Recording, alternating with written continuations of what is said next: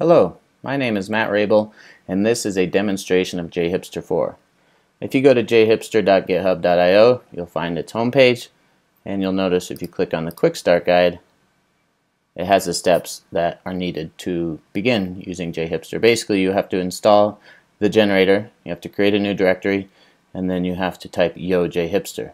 And then you can use JDL Studio to generate your entities or you can generate them from the command line using yojhipster colon entity and then the entity name. So let's get started. First of all, I wanted to show you that all of the instructions and all of the commands I'll be using and the code I'll be typing is in this JHipster4 demo on GitHub and we'll basically walk through creating a project, generating entities, adding the business logic, making the UI enhancements, and then deploying to the cloud, all in 20 minutes. So to begin, we'll do a make dir blog cd into there and type yojhipster. And we'll create a monolithic application. You can create a microservices architecture with jhipster using a gateway and several microservice applications behind that. The UI for that will still reside on the gateway and it's very easy to generate the code for the UI from the existing backends that you created. Call the base name blog or JHipster. We'll use JOT authentication, SQL database, H2 for development, EHCache, Maven, and Angular 2. And I do like Sass. I do like internationalization. We'll go ahead and use Spanish just to match the tutorial. And Gatling and Protractor. Now we'll open it up in IntelliJ.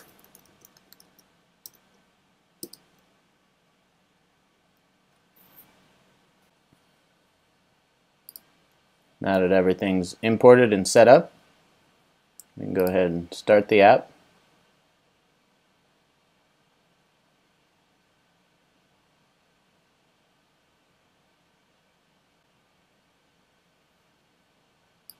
Now we can open it in our browser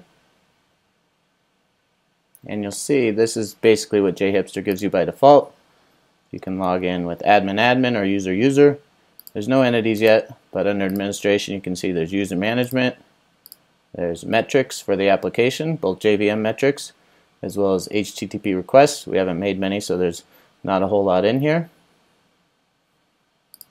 There's also help of the application, configuration settings, auditing, and even logging that you can adjust on the fly. For instance, if you wanted to change Spring Framework from warn to debug, you could easily do that just by clicking this button. There's also a Swagger API if you want to expose or show people how to use just the API itself. They can even try it out from the UI. And of course, there's also Spanish version of the application. We'll go ahead and log out, change it back to English, and generate some entities. So to generate entities, I recommend using JDL Studio. And this is a pre-configured blog schema that I came up with. This is also available in the JDL samples project. You can see blog.jh there. If you have your own schema that you want to add to this, we encourage you to do that. But this basically has a blog and an entry and tags. And blogs has a one-to-many relationship with entries, um, many-to-many with tags, and many-to-one with users. And you can see all that on the left here. We have entity blog, entity entry, tag, and then the many-to-one and the many-to-many relationships. So if we download that, we can then import it from our IDE.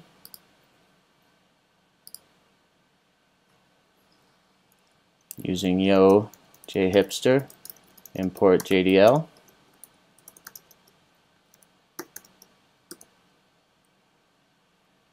and this will prompt us to override the liquibase master.xml file. And now just to look at the structure of the project a bit. Under source main Java is all the Java code that contains for instance Spring configuration files for the database for caching as well as logging and even security for Spring Security and all the various authentication providers, token providers that you need for JWT authentication. And of course, a web configurator that tells where all the files are located and also does Spring profiles. And there's even some HTTP support, HTTP 2 support in the latest release. You'll notice this line up here, editor config is overriding code styles for this file. I recommend clicking OK on that. That is driven by this editor config file that basically sets your IDE settings and this is recognized by a lot of IDEs so whether you're using Eclipse or NetBeans or even something like WebStorm then this will still be recognized and it'll configure your spacing and tabs accordingly. Under source main web app is the Angular app and here is the main entry module that has all the various modules for this application. You can see the shared module which is services, home, admin, account, and entity. And our entity now has all these blog, entry, and tag entities created.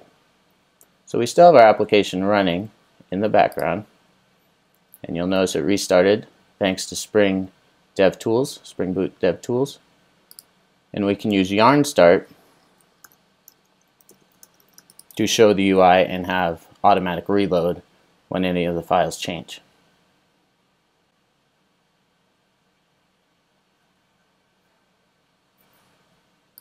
So if we sign in with admin admin or user user, you'll see that we have a blog, we have entries, so starting with blog, we can do create an admin's blog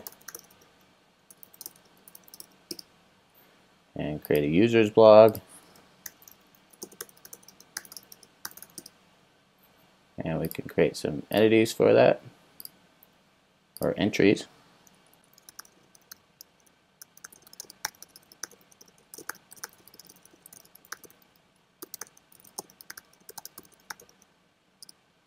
And then the date proper date.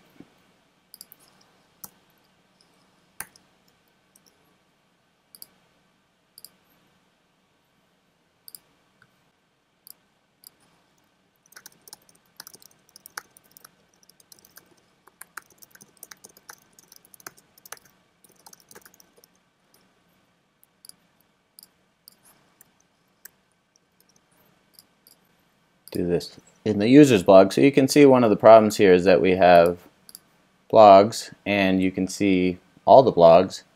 And for entries you can see all the entries. So let's fix this so you only see the actual blog that you're logged in as.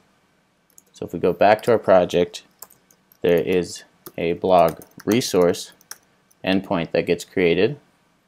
If we look at the structure of that you can see get all blogs here and if we just change that from find all to find by user as current user you can see this has already been created in our blog repository for us. So if we recompile that, Spring Boot will start automatically for us, or restart. And then if we refresh our browser, now you see we're limited to the one that logged in. And if we look at the entries, it still hasn't done that. So to fix that, again, there's an entry resource. And if we look at get all entries, we can see there's another find all. So there's no limiting of who can see what. And we can change this to find by blog user login order by date descending. And this is basically a feature of Spring Data JPA where you can have methods in your repositories and it creates HQL to match. So we also want to pass in the current logged in user, which is available from Security Utils their username and then we'll go ahead and generate this method. So we save that one, save that one, recompile. Now if we refresh, the reason that browser sync didn't refresh for us is because we made backend changes, not front end changes. So now you can see we're actually limited to see the current user's blogs And if we logged in as admin,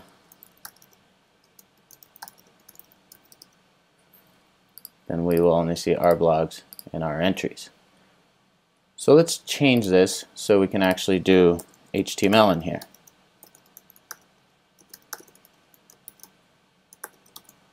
You'll notice that if we type in HTML, it escapes it.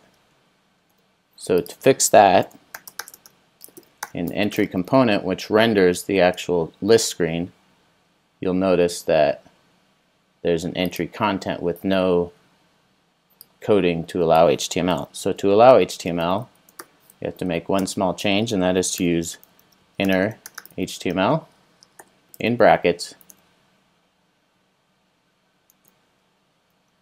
and then you noticed it reloaded automatically and shows what that looks like. The last thing I'd like to do is to change from using this table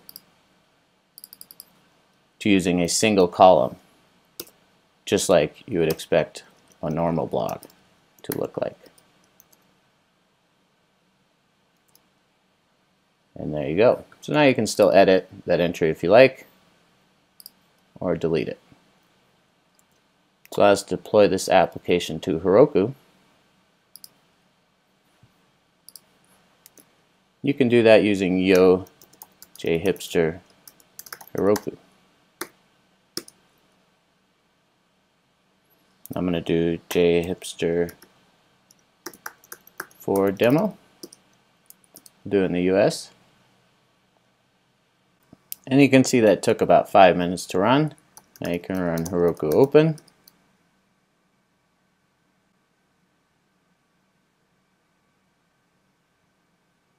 And you see that our app has been deployed to the cloud. You can sign in using admin admin or user user of course. And it's got all the entities ready to go and ready to administer. If you need help with JHipster, we recommend use Stack Overflow and the JHipster tag. There was plenty of existing questions and you can easily add new ones and we'll see those and answer them accordingly. Thanks for checking out JHipster and go forth and develop great applications.